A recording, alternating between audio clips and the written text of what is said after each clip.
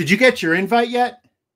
You know, the invite to that charity tournament you agreed to last week, or the new league your crazy coworker asked you to join. Now that you have the invite, you realize that it's an IDP league and you are not prepared. You know some of the big names, but it's all the others that you're a little bit hazy on. Is that you? Well, if I'm being honest, it is a little bit me.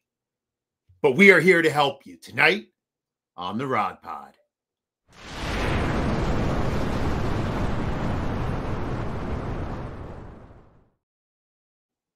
It's time to pull up a chair and talk some IDP football. I am your host, JJ Wenner, and this is the Ride or Dynasty podcast. With me is my co host, Joe Harlow. I'm in the Northwest. And tonight we are going to help you find the undervalued defensive players to win you championships. Championships, right? That's what we're here to do. And to help us out, we would like to welcome, well, let's just say it, the heart and soul of IDP Plus. He's the content manager, an editor, uh, a podcaster. He writes, he ranks. Not only that, he also is an ECR ranker for Fantasy Pros. An all around great guy you can find him on X at Dynasty Santa. It's Steve Tomasin. How you doing, buddy? Holy moly! I think that's the best entrance uh, intro I've ever gotten. That was amazing. well, then I'll have you back on the show. What's new with you, my friend? Uh, just you know, it's August and the clock is officially turned, so the brains are in gear for draft modes. Uh, you know, late dynasty drafts, uh, redraft leagues coming up, so it's it's all gas right now. are you coming to Canton? Let me rephrase. Let me rephrase. Oh. You are coming to Canton, correct? Yes. Very good. Hopefully, I'm not going to run up on the car full of IDP plusers this year and yell at Matt Record to sing me a song at like three in the morning. Not one of my best moments, but let's be honest, awesome. not my worst moment. Yeah. Definitely not my worst moment. uh, so before we get started, let's get a word from our main sponsor. Now, Steve, Joe, and I were able to get the first look at the new IDP Plus website the other night, and it is awesome. And if I'm being honest, I didn't really like the old website. And this one is better organized, it runs smoother, it's so pretty. And we are getting ready to launch our new prop betting tool, which is going to help you pick all of your IDP prop bets. So head over to IDP Plus a new website, IDP after the show. Check out the website and take advantage of the special membership offers. The link and details are in the show description. All right, gentlemen, we are starting with the big men up front, the defensive tackles. Now, Steve, for the most part, if your league doesn't require DTs, do you draft them? Oh, interesting question. Um, it, I think it depends on the total number of defensive line then required starters. So if it's just one, uh, typically no, as long as sacks are rewarded appropriately. I usually like a cutoff of about at least uh, six points for sacks, and then you know stacking potentially tackles for loss on top of that and whatnot. Um, but yeah, if there's only one defensive lineman, generally no. If there's even two or more, you can make certainly an argument for a handful of the elite tier uh, defensive tackles for sure. Okay, that makes sense to me. Now, since we generally start only one to two defensive tackles if we're in a DT required league, tonight I'm just going to have these gentlemen highlight one each. So, Steve, you're up first. Who is your undervalued DT. So man, this guy when I when I caught a peek at his um uh, his overall consensus on the Fantasy Pros ECR, I was a bit shocked. So I've got Dexter Lawrence of the New York Giants uh, coming in currently as well. So they do it by defensive line overall, but the DL 58. Um, I mean, Lawrence, first of all, is just a massive beast of a human being. Um, as well as, you know, if you put any stock into uh, PFF metrics and whatnot, I mean, he's tip, tip of the top on almost everything. Uh, his pass rush, win rate, all the pass rushing metrics, uh, as well as tackles and everything. So last year, I think people are down on him just because the counting stats weren't there. He wasn't converting a ton of sacks and the tackles seem to be eluding him. But he's in that backfield, causing chaos, causing pressure. So this year, if, if you've been following along with the Giants, especially on the, the Hard Knocks uh, front office, they have added Mr. Brian Burns to that defensive line to go along with Kayvon Thibodeaux, Azeez Ojulari, and I think they got a decent other name that's escaping me right now um, in the in the middle there. So I think he's with this surrounding of the immense talent upgrades that they've gotten, um, I just think Lawrence is going to be in line to smash his return on investment um, at DL 58. yeah, he was not even ranked in the top 156 overall for Fantasy Pros. So yeah. definitely undervalued. Uh, Mr. Harlow, yes. who is your player?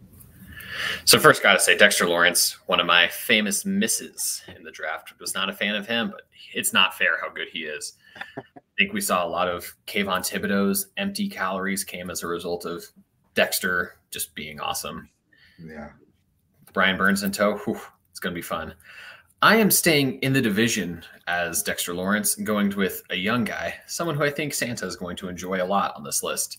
That is second year pro Jalen Carter for the Eagles, formerly of my Georgia Bulldogs. Dude's just a monster. Like he was such a highly touted prospect. He was my number two overall prospect in that class. With if there wasn't the car racing issue, he probably would have been number one over Will Anderson. It was a coin flip either way. But looking at last year when Fletcher Cox, future Hall of Famer who is now gone, was there, his total numbers didn't end up being great. But if you look at his metrics, especially those PFF ones, like his win percentage, sixth amongst defensive tackles. And the sample size is those with 20% of the max pass rush snaps. So we're keeping guys with like two rushes out of there because that's not really. Yeah. um, his wow. pass rush, his he had total pressures was 15th amongst D tackles, 12th in hurries. His PRP, which is just kind of a pass rush success metric, he was 13th amongst D tackles. And that's again on limited snaps as a rookie and you saw his talent. There are some games where he was, especially as the Eagles defense kind of fell apart towards the end of the year, he was dominating still. He was really a one man wrecking crew for a while. I just, the sky is the limit for this guy in a D line 57 and D tackle. I think he's outside the top 12 D tackles too. He's just one of those guys who you can snag late and can just bl- absolutely blow up and be a league changing sort of pick. All right. Well, we are starting hot here. We had Dexter Lawrence and Jalen Carter as our two undervalued defensive tackles. And now we're going to move on to the glory boys, the edges. Now, if you're old like me, sometimes we called them outside linebackers, defensive ends. But in this world of true position, just going to call them edges. So, since we draft more edges than DT, Steve, I'm going to need two from each of you. So, Steve, who is your first undervalued edge? So my first guy I've got is Rashan Gary out of uh, Green Bay. There, uh, just signed a massive extension, so they they totally believe in the talent. Been a bit snake bitten with injuries, so if you look at you know he's never really had a uh, massive season, you know, on a per year basis, um, just due to you know random bad luck and things like that. But if you kind of take a bird's eye view of of the games he's played in and not missed. Um, his per game metrics are incredible, and his per game fantasy points are pretty incredible too. And I think if he gets on the field or stays on the field this year, uh, the snap counts are really going to rise. Um, Preston Smith there is pretty long in the tooth, so I think I think they're ready to just absolutely unleash this guy on the league. Um, and I really hope that they that they give him the, the snaps that he's deserving of. So uh, sitting there is DL 26. Uh, I think that's a mess. So right outside the top 24. Uh, you know, I think if he plays a full year, he easily lands in the top 12 as a as a DL one guy this year. So And right now he is ranked 122nd It's crazy. as overall IDP. All right, Joe, who is your first player? I am going to go to, well, Steve just hit one, or Santa just hit one of our good friend Justin Fry's favorite players. And I'm going to hit another one of our favorite players here in the Ravens, Odafe Oweh, someone who I've been a massive fan of since his, well, junior year, I guess, at Penn State, which Penn State, we'll get into them again in just a little bit. Oh, Um, boy. so Oweh, with having limited snap counts, he was injured at the beginning of the year. Then Jadeveon Clowney and Kyle Van Noy decided to act like it was 2014 and absolutely went bonkers. So he didn't have a high snap share, but when he was on the field, he was incredible. Using some of those similar metrics with same boundaries, 14th highest amongst all edge rushers in win pass rush win rate, 17.7%, which was high one per whole percentage point higher than TJ Watt. Ever heard of him? Kind of doesn't suck. The his PRP was 20th, the same as Rashan Gary and uh, Will Anderson. So again, pretty good metric. He's actually he's very reminiscent of Jermaine Johnson, someone who I've been super high on, who we've loved as IDP plus staff, who is at 20, D line 20, I believe. There's a lot of similarities between him and Oweh. Oweh, who's at D line 72, by the way. They're three weeks apart. Oweh is three weeks older, I think 23 days. Um, they have he has been in the league one year longer than Johnson, but doesn't super count because of the Penn State tax, which freak athlete who did zero development. Total pressures, they were actually Oweh had one less total pressure than Jermaine Johnson, who was 30th amongst edge rushers. Hurries was 25th amongst edge rushers, the same as Jermaine Johnson. Looking at athletics, athleticism, their RAS score, Oweh was a 9.7, Johnson a 9.2 very similar profiles. Oweh just has a little more top end speed and a little bit mm-hmm. better on the jumps. He's a great power rusher, again, like Johnson. I think in this Ravens defense, which is going to regress a bit without Mike Macdonald, but there's no one else there who is going to challenge Oweh for snaps. If he can stay healthy, this is the time for him to break out. And if he can do put up these similar metrics as he has in a limited sample, sky's the limit. Man, Joe, I love when you compare players to Jets players. Uh, always warms my heart. It makes me like oh wait Honestly, a little Jermaine bit Johnson. I got to say, even at 20, I was really debating at putting here, but had to rein myself in a little bit. Yeah, that still is undervalued though. I Seems like the cat's out of the bag on him, unfortunately. Oh, we yeah. won't talk about it too loudly. Um, well, Santa, who's your next guy? All right, my next guy is uh, right behind uh, Rashan, or right in front of Rashan Gary, actually, um, as the, the DL twenty five. Uh, let me just make sure that's still accurate. Oh, I, yeah, I don't know.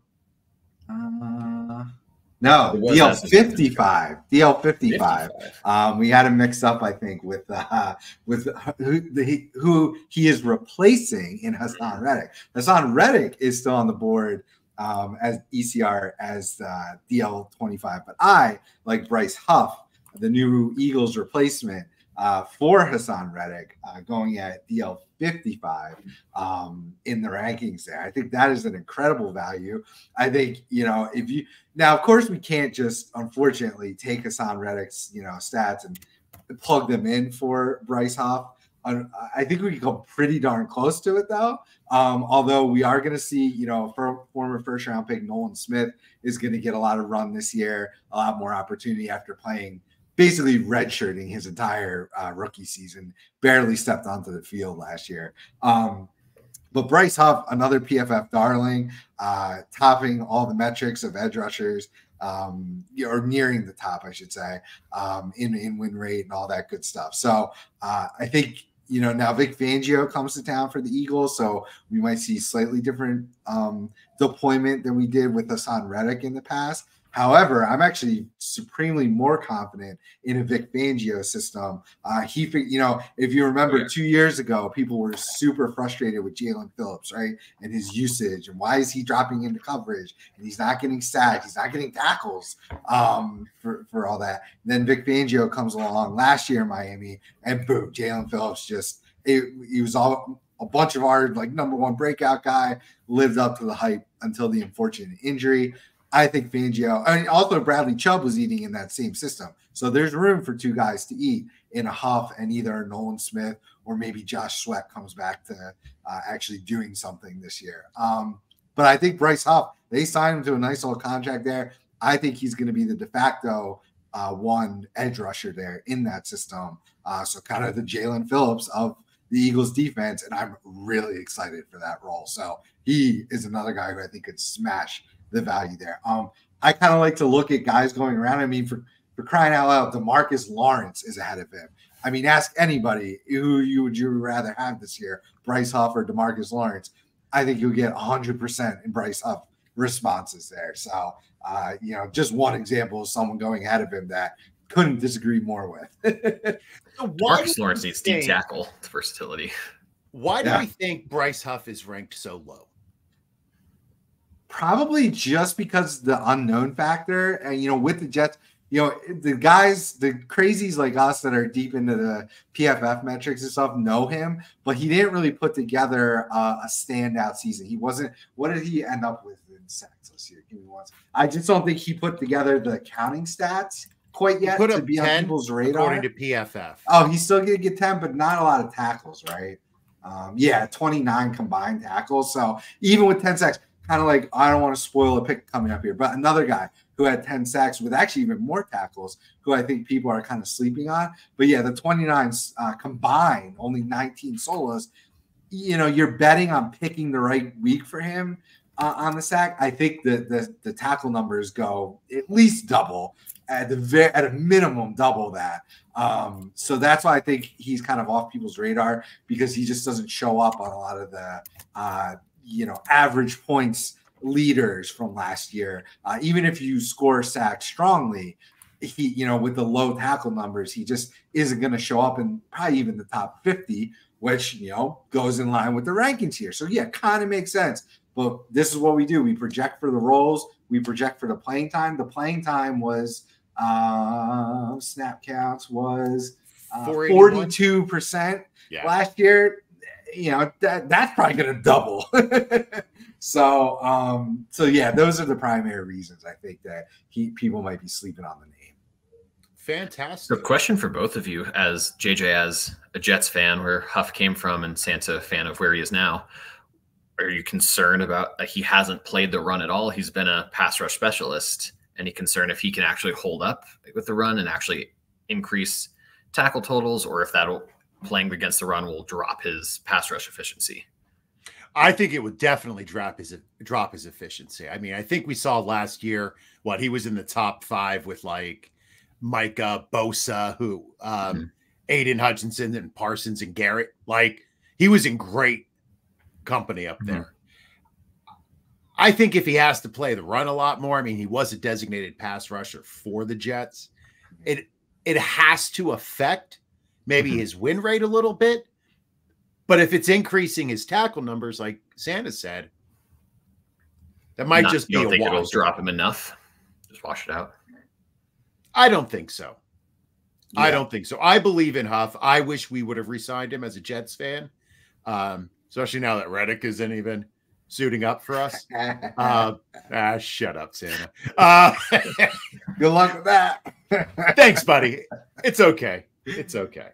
Uh, but yeah, no, I I think Huff will, especially with those two big guys on the, the big uglies on the inside. Yeah, I mean, that, man, that's Davis and Carter eating up all hey, that. Don't forget Milton Williams.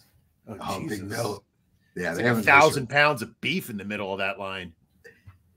My my answer is yeah. I, I don't. I probably. I guess I don't care because just on the increased snap, assuming the increased snap counts alone and increased tackle production. I mean, I kind of almost do expect the ten sacks to come along with them. But you know, if he drops to eight, you know, makes it up plus some with tackles um, in the playing time, and also you know, learning from Fangio. Hopefully, they get him to understand how important he's going to need to be to play against the run there in that system.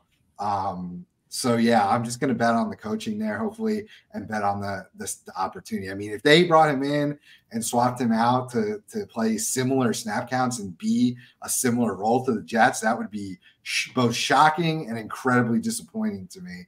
Um, but if he is on the field and a run liability, yeah, we got to figure that out. But uh, you know, our our traditional linebacker core, um, you know, bringing in Devin White this year, hopefully gets a little bit better and can support any potential deficiencies there um, for Bryce Huff. And, you know, hopefully he just figures it out.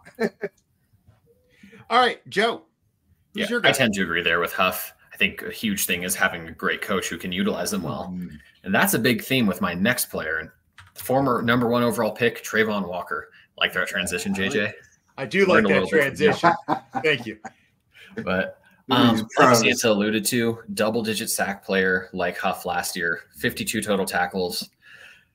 The metrics aren't as great. Win percentage was close to like a Yetur Gross Matos and Dayo Odeyingbo, which aren't the greatest names. Pass rush um, effectiveness, that PRP is like Haason Reddick, who was, and Harold Landry, who were both injured a lot last year. It's just top 50 amongst edge rushers. His counting stats are really good, but a huge factor is he's still really good against the run. I think Ryan Nielsen, the new defensive coordinator, who might not necessarily be an upgrade over Mike Caldwell, but he thrives and makes defensive ends, especially massive defensive ends who tend to do better against the run, do like he gets the most out of them. See with Cam Jordan, Carl Granderson from when he was with the Saints. Last year, there isn't like a huge name from Atlanta, but they don't really have any rushers there, but Arnold Ebiketie and Zach Harrison had pretty good ends of their seasons under Nielsen. I think that he, if anyone's going to get out of Travon Walker what he can be, it's this guy. And at DL 35, willing to take a shot on the talent. And again, with Josh Hines, Joshua Hines Allen in Jacksonville taking away a lot of the pressure, Arik Armstead in the interior, two pretty good linebackers for NFL, great for fantasy behind him. I really think Walker has no pressure on him, and he can really just kind of headhunt as a pass rusher and against the run. I think he can really succeed a lot there. Mm-hmm. I have some concerns. Oh, no, I like what you're saying, but I have like baked in doubt about him. It's totally fair. I don't know how to get over it. I think if he was D line 25 or getting a little higher, then it's like, okay, stay away. But at this point, like, where is he? Do you have where he's ranked overall? Um, overall, he wasn't ranked in the top 156. Okay, I'm willing to take a shot on that then. Yeah. Get late round dart throw in your drafts. Absolutely. Why not? All right. Your mouth to my draft boards. All right, people, it's draft season. As the home leagues start to emerge from their slumbers, and frustrated commissioners are trying to organize draft day, why not take one part of that nightmare off your plate and order Trophy Smack's gorgeous draft boards, complete with player stickers so deep? How deep, JJ? They're so deep, you couldn't possibly need them all. And for the first time, Trophy Smack has an IDP expansion pack for all of you defensive degenerates like us. So, no more scribbling names on blank stickers. Go to Trophy Smack and get the only draft board that meets all of your needs. Check out the link in the show notes and get yours today. All right, enough of business. Let's get back to business. Time to move on to linebackers, gentlemen. God, I miss the old days. I I, I must be get becoming a boomer because I keep harkening back. I remember when they would wear the giant neck rolls like oh, Brian Cox. And as yeah. a little kid, I always thought like the more pads you wore, the better of a player you were. I was wrong, but I was wrong about a lot of things when I was a kid. So, and since we need to start more LBs, generally, I'm going to ask for two each from you. No cheating. Steve, you're up first. All right. Um, my first guy. Didn't we talk about possibly doing three?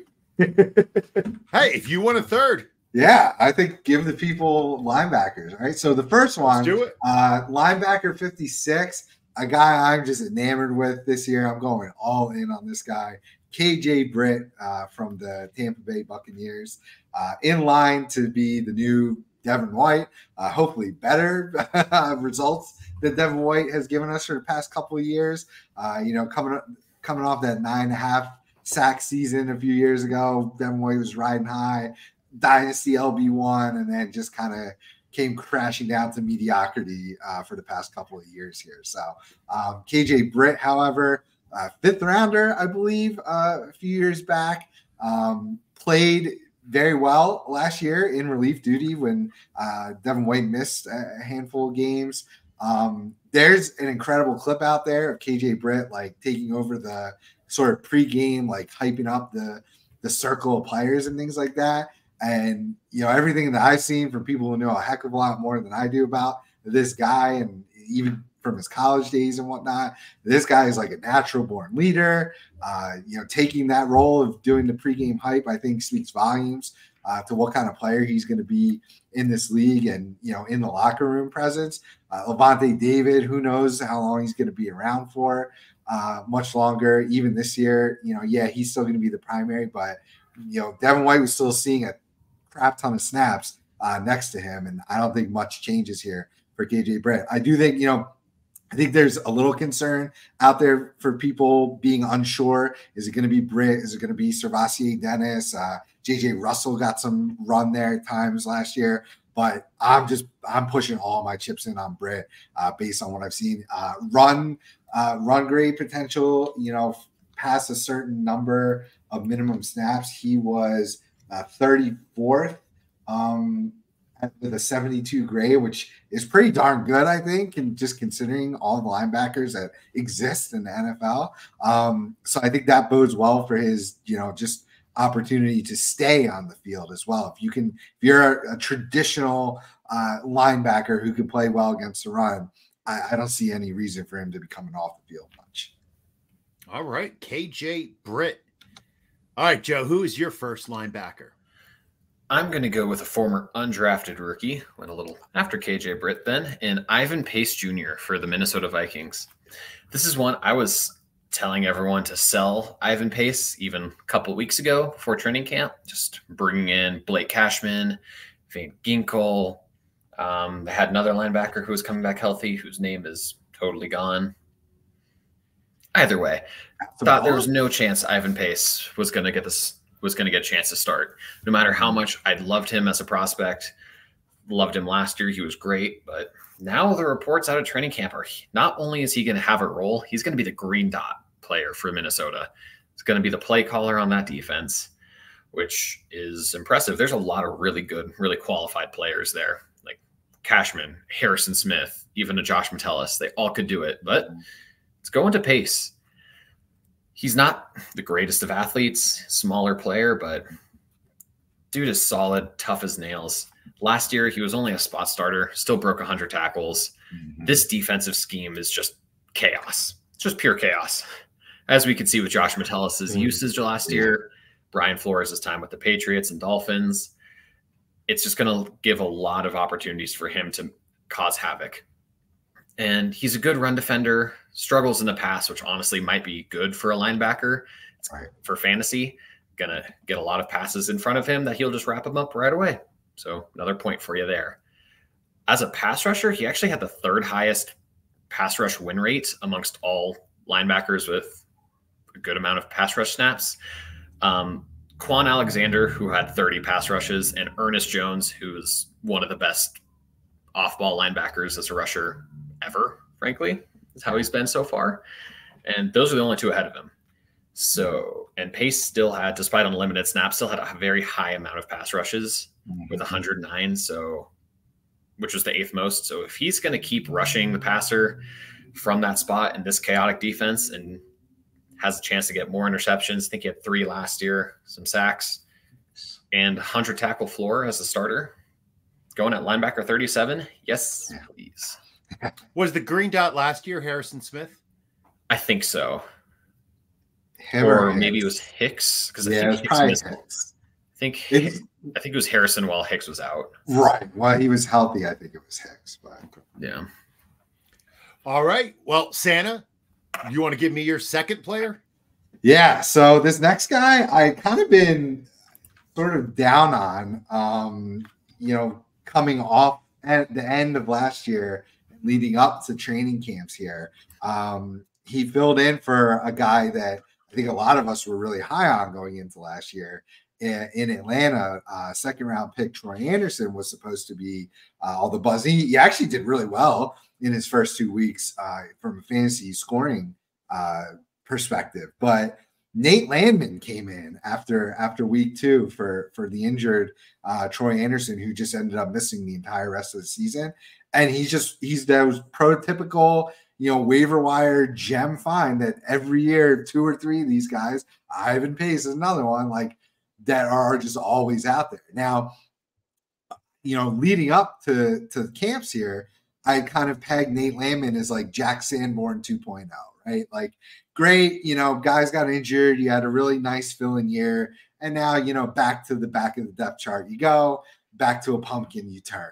Well, uh, reports are that, uh, you know, Landman might even be getting a green dot chance uh, this year. So I think, you know, this new coaching staff and, and, and uh, regime maybe, you know, pays attention to some of these uh, analytics numbers and, and PFF type metrics because Mr. Nate Landman was second most in run stop percentage, meaning what his tackle led to a, a run stop. Uh, he was he was second in the league and 10th or 12th, 10th in run defense grade overall. So, you know, maybe these coaches took a look at that and said, that's who we want manning the middle. And, you know, if you look at those numbers, I would tend to agree. So I was a little nervous just based on because they have three good linebackers there now Landman, Andersen, a second round pick, but not by this regime. And then Kaden Elliss, the, the free agent signing from, from uh, last year was his first in Atlanta. So I think Elliss is definitely going to remain as an entrenched, you know, starter. Um, but what they do now between the three of them is there going to be some crazy rotation. But it sounds like they want Landman to be on on the field, you know, nearing 100% of the snaps as the green dot. So uh, he is going off as the LB 71 right now because I think a lot of people kind of assumed what I did. But this news, I'm quickly rising him up, uh, probably into the mid to early 30s um, with the you know, a chance he could easily finish uh, close to, you know, the, the teens there um, if he remains healthy and does earn that green dot potential. So you do not have to reach for him even right now. You could probably get him with your last picks in most of your drafts, and he's going to be potentially a solid LB2 with LB1 fantasy potential. Love that. I think we could really see a lot very similar to Raheem Morris's defense a few years ago with Ernest Jones and Bobby Wagner. Kaden Elliss is a great rusher. I think he had nine right. sacks in his last year in New Orleans. Yeah, you could see him just he him be back in that role, the pass rusher, and then nice. Landman as the catch catch linebacker and just rack up loads of tackles. Writing down all these names. I like this. he also had fun fact. He also has a sister named Ocean Trail, who's a swimmer in Oregon State. Landman does. Yeah. Oh, and Ocean Trail what a name, man! Yep. That's a weird name for somebody with land in their last name to be a swimmer. Right. He thinks she'd be a runner. Right. sounds like good related. good genes at least. All right, Joe, who do you have for me? well, fellas, I'm ready to get hurt again. I am ready to get hurt again. This was one of my preseason crushes last year. Loved him as a prospect. Thought he was going to be awesome. And then Christian Harris didn't do jack for the first six, ten weeks of the season. Got benched multiple times. Wasn't even trusted to play special teams. Like, wow, this guy might get cut. Mm. And then around week 11, something clicked and he turned into maybe a top 20 NFL linebacker mm. over just second half of the year. Um, took a little time, but over in that DeMeco Ryans defense, he really did look like that Dre Greenlaw, Azeez Al-Shaair from the San Francisco days. Um, they had he had a lot of tackles, 75 tackles in the last nine games, including the playoffs. Did end up breaking 100 tackles overall in the season, despite really being what a 40% snap share in the first 10 weeks. So had multiple pass breakups, tackles for loss, two sacks over that last nine weeks stretch as well. And now, most importantly, Azeez Al-Shaair is in tow, so that he does not need to be the linebacker one. He doesn't have a lot of pressure. He just he doesn't need to be the guy. He can just Yeah. take over a lot of cleanup work and be use that athleticism to really make some big plays. At linebacker 46, I think he has a good chance to be linebacker too.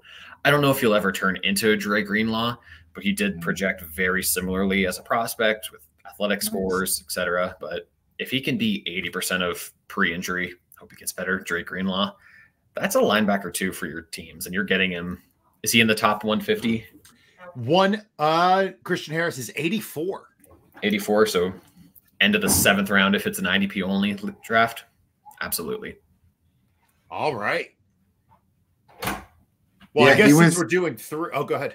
I was just gonna say you yeah, you're right. So in our IDP invitational scoring, uh week 11 through 18, he was uh the LB 14 in points per game. So yeah, that's a nice little finish to the season there. And um I agree. Like we saw, you know, 2 kind of come through and they gave him a chance and that didn't really work out. Um Perryman was getting injured every freaking week. So um yeah, if, if Al Shaair can stay healthy and he could just play number two to there to him. Um, I I love it. I love Christian Harris at that. And Har- Harris actually had the eighth best uh, pass rush, um, Oh, nice. the PRP rate for from PFF amongst Beautiful. linebackers as well. So sack upside. Love that. He's Love love to see the athleticism transition. Sometimes it's hard to find a place for those Alabama five stars, right? Once they get to the league. But oh, Yeah. Jameson dropped by. Hey, Jameson, how you doing, buddy? Hope you're enjoying uh, the Great Northwest. All I've right, been on ocean trail big shoes. all right. So now we go to the third. We're on bonus rounds. Yeah, and I'll be quick with mine. Um, so this guy's this guy's not even ranked right now. Um, you know, another homer pick for me, but Zack Baun of the Philadelphia Eagles. Uh, you know, I think a lot of people are expecting the Kobe Dean. Now, this is purely speculation on camp reporting, so take it with a grain of salt. I'm, you know, I, it kind of makes sense. Uh, it sounds like, uh, you know, Vic Fangio may have has just taken a liking to Bond, which, you know, that's the thing that that we don't pay enough attention to i think at times is you know coaching decisions and you know we we tend to take the guys that we think should be playing but if we're directly getting opposing information factual information you gotta you gotta change and pivot. So this probably previously would have been kobe dean but we're we're getting camp reports that zack baun is running strongly with the first team and devin white. Um, so this is pure opportunity speculation um, pure speculation that he wins and holds down the LB2 job there. Um, and then hopefully he can stay on the field, uh, you know, be healthy all year long. So, um, again, completely free. This would be much deeper leagues to take a, a chance on Baun, but um, he's one of those guys that just feels like he feels like a Nate Landman or Jack Sanborn, except he it's not taking an injury for him to get on the field. He's completely unknown for the most part. Um, never really played much at all in his time with the Saints. He was a special teamer, emergency backup guy. Um, yeah, I think last year they were sh- maybe showcasing a little bit, but he he went off to to sign with the Eagles in free agency. So um, yeah, I just I just think this could be one of those guys. Uh, these Cinderella stories for this year. Um, just more of a, a gut feel than anything else on this one because he doesn't have a lot of there's no numbers really to dive into because he just hasn't played all that much yet in his career. so, you know, I'm not going to spout off any rankings or anything because they're kind of irrelevant uh, just based on his playing time um, so far. But uh, the same was to be said about Landman last year. He, we had nothing to go off of really. So, um, just hope that he can, you know, clearly win the job, if anything. And uh, those the Kobe Dean dynasty shares might might be in the toilet right now, unfortunately. Even more in the toilet than they are already. More, yeah. All right, Joe, who's your bonus linebacker? So I'm going to go back to Baltimore, hit second year player Trenton Simpson, the guy taking over Patrick Queen's role. And a lot of this is just life next to Roquan Smith is a beautiful thing. it's so easy. We saw Patrick Queen go from barely rosterable from an NFL sense to getting a pretty solid contract with with the Steelers and ESPN's staff ranking him as a top 10 linebacker somehow. But I don't think anyone believes he is. But that's besides the point. Trenton Simpson, we've only seen one start from him last year in week 18 when Baltimore stat, sat their starters and Pittsburgh Pittsburgh was playing for a playoff spot. He did pretty darn well though. Seven tackles, two for loss, and a sack. It's a good good potential if nothing else. He was a really strong pass rusher at Clemson with seven sacks in his penultimate season there. Um, couple, I think 12 total in his career. Good tackle totals in the mid 50s, which for college isn't bad. Especially Power Five tackle totals are super weird, but G5 teams you'll see 180s and Power Five 70s a good number. It's weird, but in decent coverage. I don't think he's going to be a world beater, but a guy at linebacker 53 taking Patrick Queen was the linebacker 20 in the master scoring last season. If we can get similar to that, I don't think there's a huge talent gap between Queen and Simpson, but if you can get a linebacker 30, maybe at drafting at linebacker 53, pretty decent value, and I'll take that. All right, Trenton Simpson from Baltimore. Gentlemen, that's three linebackers each. Now, I know most leagues don't require that we start corners. And if we're being honest, it will always be the most frustrating position in all of fantasy football because it's the only position where the absolute best players are crap in IDP. We don't want the best corners. Everywhere else, it makes sense except for corner. So if you are in a corner required league, do not, and I repeat, do not draft corners until the last round or two don't do it. And in fact, a little secret, I generally wait until waivers to pick one up right before week one because it doesn't really matter what corners you start. But if you're feeling a little bit froggish, you want to hop, Steve and Joe are have one late round guy you can snag so that you don't leave your draft empty handed. Santa, who do you got for us? Yeah, so this is definitely a deep cut, but uh, second year player for the Indianapolis Colts, Juju Brents, um, former second round pick, I believe. Uh, big body corner um, set up so that you know if he if he doesn't allow catches, I believe he's going to be very efficient with tackling. Um, just just being a naturally bigger human being playing corner, which we're not seeing as much these days. Um, so what is he? Is he Six yeah, three, six three, one ninety eight. So I just love that. I love that build. Uh, he was another guy kind of snake bitten with injuries last year. Uh, only started about half the games. Uh, still came away with uh, 43 combined tackles, 30 of them solo. Uh, fumble recovery, six passes defended, uh, no pick or one pick. Um, so I just think the playing time is going to go way up there. Um, even though the games he played in, like um, what were his snap counts? Think he had crazy uh, snap counts either. He uh, oh, 82%. That's not bad, but I think we'll we'll see that even tick up a little bit more. Um, yeah, I just just betting on a young guy who I think will probably get tested and picked on a little bit. Um, you know, Kenny Moore still manning the slot there for the most part. So um, yeah, I just I just just a guy I like. I, I his height caught my eye. Being a second round pick, you know, lots of the other corners from that class are kind of the the standouts and the bigger names, and he's just kind of one of these guys I like as being an under the radar name um, again in, in super deep leagues if you want to take uh, for free or off the waivers. again, only if you're in a cornerback required league. Yes. if you're just in a DB league, ignore everything oh, we're oh, talking about right now. All right, Joe, who do you have for me? We'll say with that rule, I think there are a couple exceptions to the no corners rule.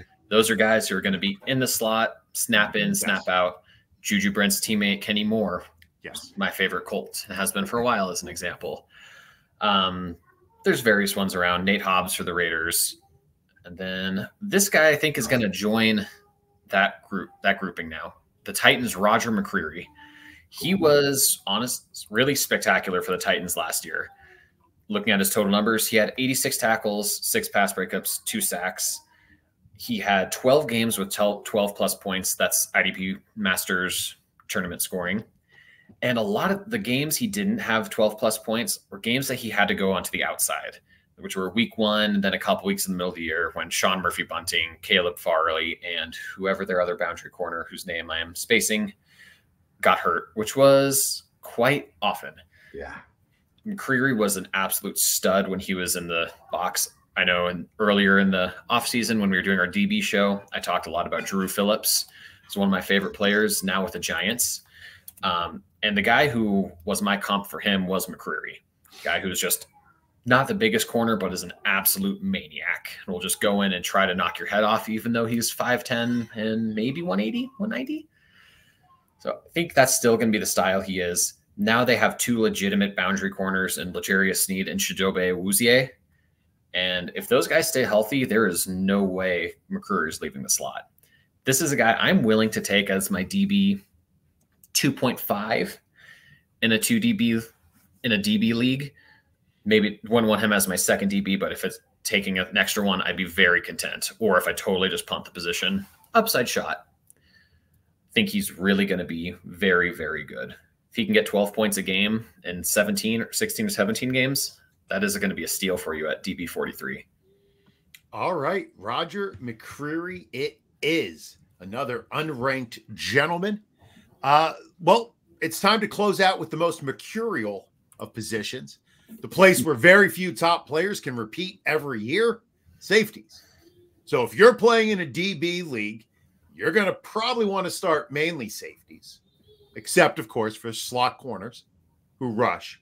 Uh, so I asked these gentlemen to come up with two and I think one cheated and came up with three, but we'll talk about that in a minute. it wasn't even me this time. Wait, Jameson came on to cheat? Just kidding, Jameson. All right, Steve, you're up first. Who do you first. have for me at safety? All right, first guy will be the non-cheating one. Uh, Jordan Battle for the Cincinnati Bengals. Uh, DB 69, very nice ranking right there. And I think he'll he'll finish a lot sooner than that. So I think people are worried about the the breakdown of that whole defensive back group, right? Um, we had Vonn Bell come back and, and re-sign. Uh, Geno Stone came over from the Baltimore Ravens as a signing. Um, Dax Hill is still there. And then you've got Jordan Battle. Well, Dax Hill is apparently attempting to transition to a boundary corner. So that knocks away one guy from the mix. Um, I believe that Battle will be the primary strong safety, um, playing you know an overwhelming majority of snaps this year. They took him in the second round last year. Uh, you know, and then I think there's going to be a rotation at free safety uh, between Vonn Bell and Geno Stone. Uh, Geno Stone was absolutely that was his main position coming over from Baltimore. He filled in for Marcus Williams for a couple years there uh, during injuries, playing more free safety. And Vonn Bell at this stage of his career, I think makes more sense to play more of that traditional free safety type role. So I think it's wheels up for battle as the one and only uh, strong safety for the Cincinnati Bengals. And we've seen that position just crush um, return on investment almost every year, uh, depending who's who's there. I mean, Dax did it last year um, he is just transitioning now. I think uh, being a smaller body, I think they're yeah, you know, working him to to become more of a, a boundary corner there. So yeah, I'm not really worried. I'm buying the the uh, potential cloudiness there, the potential scaredness of others. Um, uh, you know, unsure of the situation, and I, I, he's just one of my favorite targets this year. Later, uh, in, if I'm punting safety, which I normally am. All right. I love that strategy. Thank you. So we have Jordan Battle. Joe, who do you have for me? I am going to be a little bit of a homer here and go with Indianapolis Colts. Uh, DB 24 right now. Someone who finished a bit higher than that. He was DB or safety 16 points per game last season. And again, Masters tournament scoring. Julian Blackmon. Okay. He was really good for the Colts last year. He had only three safeties were in the box more than him. That's Rayshawn Jenkins, Jordan Poyer, and Kyle Dugger, who are three of the top box safeties in the league. And honestly, two of them might not even really be in that stratosphere anymore in Jenkins and Poyer. So great time. He had just missed 100 tackles after he got injured and so missed the last two, mostly three games.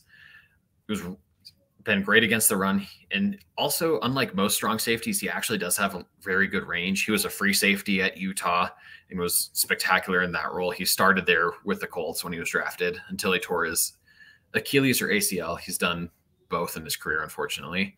But so he had four interceptions and eight pass breakups in 15 games last year. A lot of ball production. And again, almost 100 tackles. I think really good strat- strategy there to take him later and uh, end of your DB2 range. There is no there's no competition for that box role there. Nick Cross is a rangy safety, and the other safety on roster is Ronnie Thomas, who is also more for free safety. And also neither of them are nearly as good as Blackmon is. He's on another one year deal to kind of prove it and hopefully get a big deal next year. So I think they're really going to use him a lot near the box and near the line of scrimmage. Awesome. So Julian Blackmon is your well, first safety. Uh well, Santa, why don't you top it? Who do you have?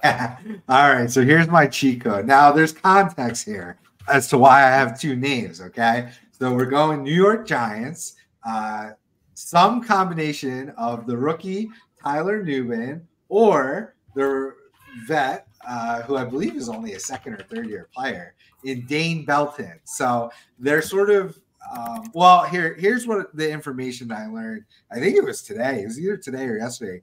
Um, so Nubin's a little banged up, and I think people are defaulting giving him the job. Um, J- Jason Pinnock is there, um, who I think is more of the the free safety role. So whoever wins this strong safety pretty much only has uh, Bo- Big Bobby O in front of them to compete with tackles, maybe some Micah McFadden here and there. So I think there's a lot of tackle, excuse me, tackle opportunity that is going to find its way to that second level of the defense for one of these guys to soak up.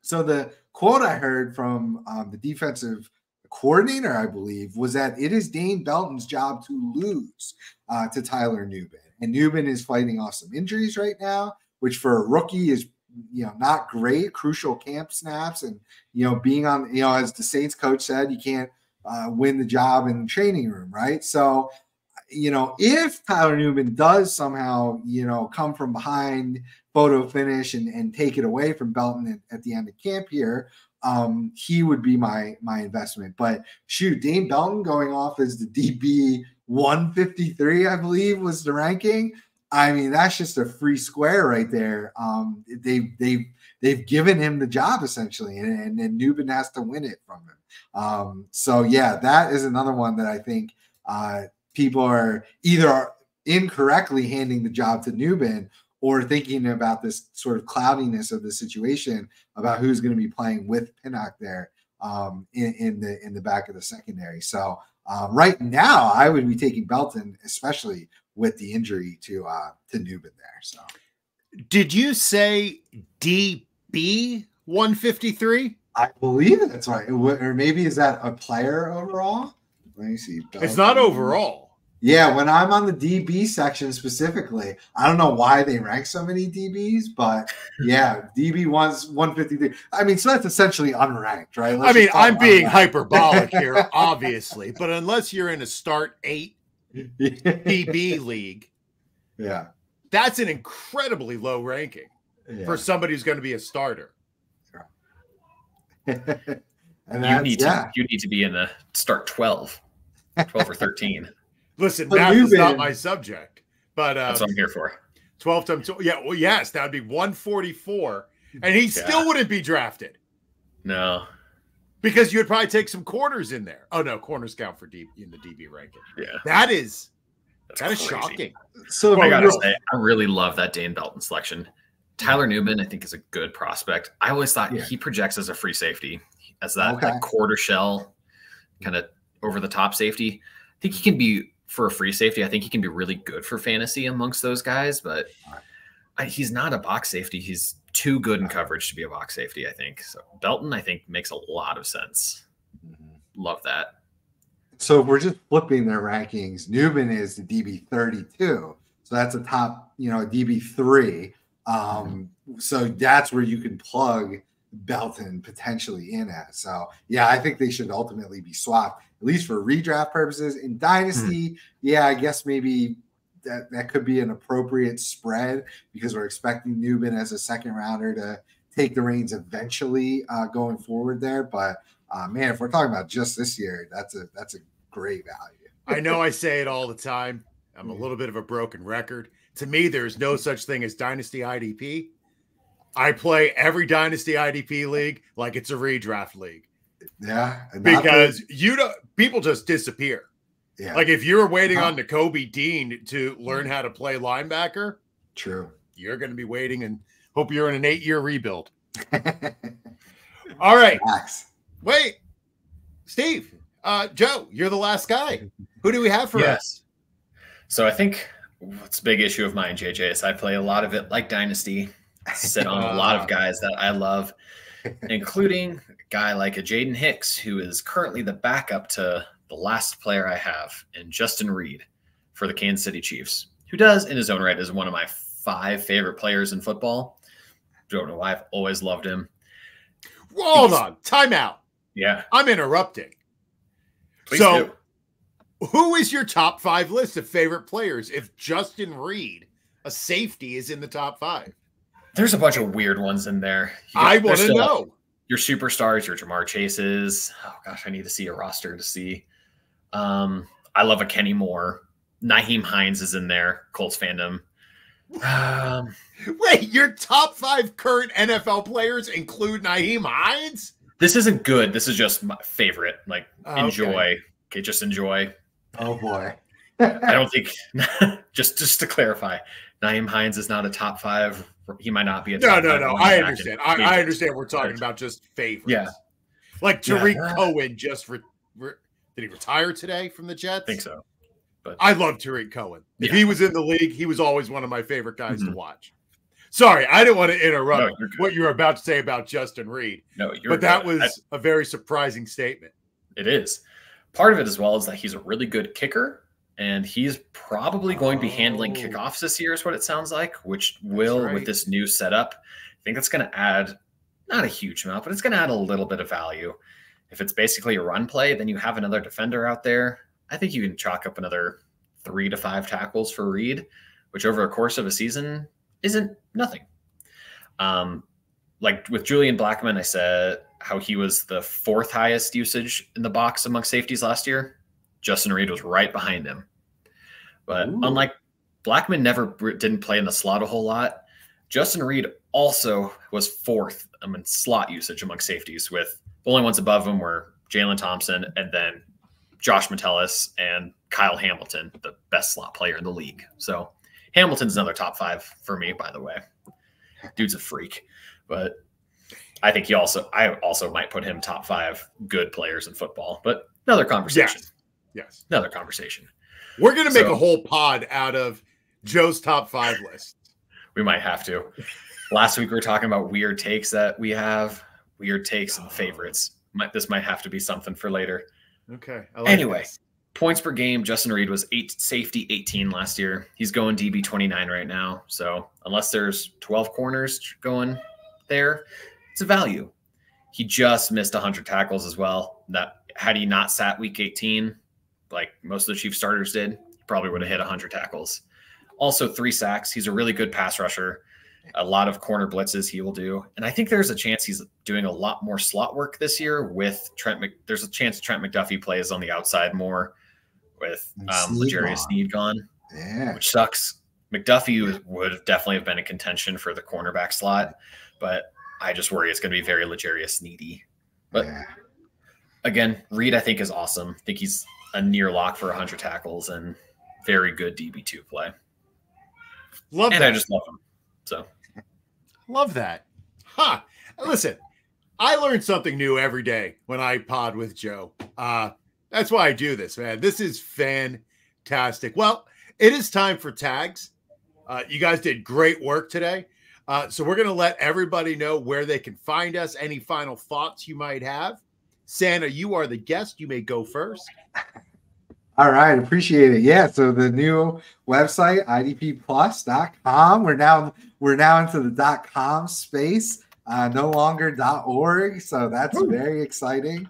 Um, yeah, just I, I am really uh, just totally crazy about um, where we're all the fun things we're going to be doing this year with the new launch and all that good stuff. So you'll find my work and all the people's work that I uh, help edit and kind of corral the, the sheep there uh, and, and, herd the cats and all that good stuff uh, over at that website. Uh, yeah, good old. I have 10 of my own uh, real cats. So, uh, you know, I don't Jealous. know which one. What? I am learning way too much information. Yeah, you know, we, JD Vance would think that you're not a good person because you. yeah. Sorry, not to get political. It, it's all good. Yeah, I, I couldn't care less what he would think about me. Sorry, um, 10 cats. Go on. but yeah, on the Twitter streets, Dynasty Santa, I'm trying to contribute um, uh, not only Twitter, but there's some really awesome groups on Reddit. There's an IDP group on Facebook. We, of course, have our own page, but there is an awesome um, IDP I believe it's just IDP football or IDP fantasy uh, Facebook group that is enormous. Uh, the posts get great feedback, and there's a chat uh, that does great. So shout out to uh, the admin there, William, um, awesome dude, and I love being a part of that group as well. Some really good information uh, flowing through that group chat as well. So. Um, but also where you can get access to myself and all the great brains um, over at the whole crew. You sign up for that subscription there, get the Discord access. It's probably my favorite thing that we offer um, outside of awesome rankings and all the really exciting tools that are literally right around the corner here uh, in a few few days, few weeks. Uh, but just having access and getting the personalized